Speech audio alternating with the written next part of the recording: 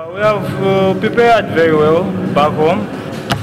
From from the time uh, the the draws were done, I think we, we knew that we'll be meeting Simba.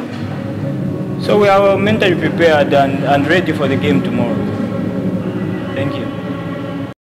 Well, in our league we didn't start well, but uh, in our own league also we are number five.